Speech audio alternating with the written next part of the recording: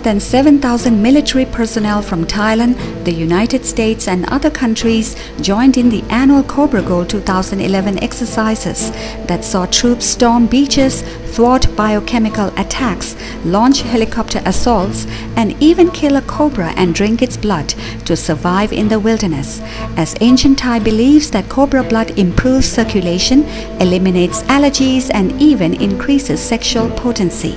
While science doesn't back up this superstition, forces assembled didn't refuse the challenge.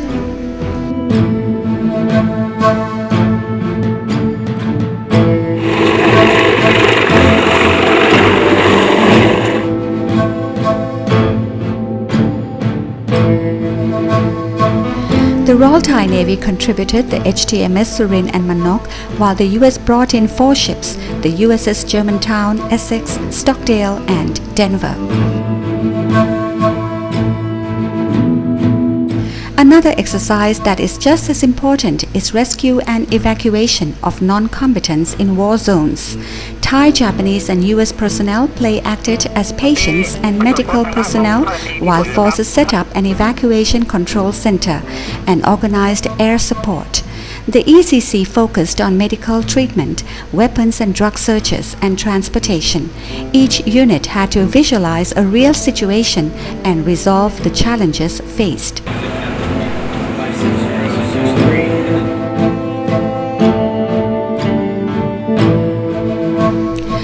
Thai General Pong Sangane, Japanese Ambassador Kiyoshi Komashi, and U.S. Regional Security Officer Randall Bennett observed as forces reenacted the humanitarian evacuation of a disaster area.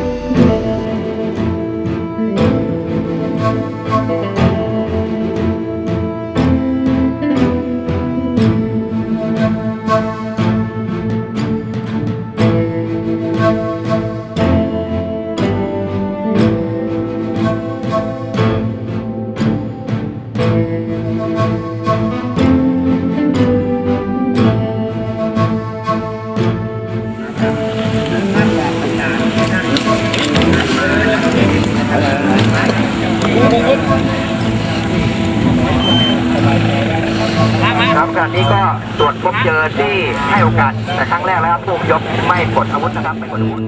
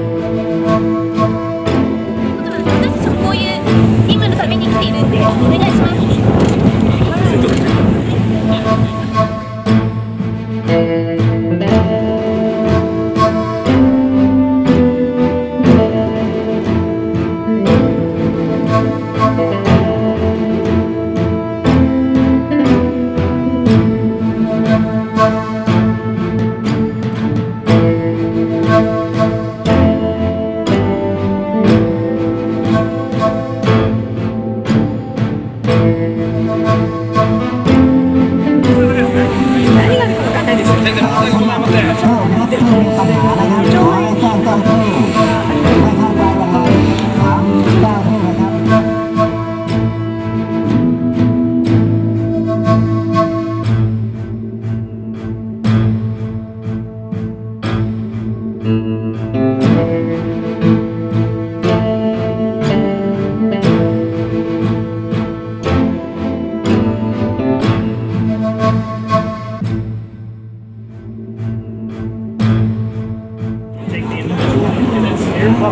gonna location this all the way over. Hello,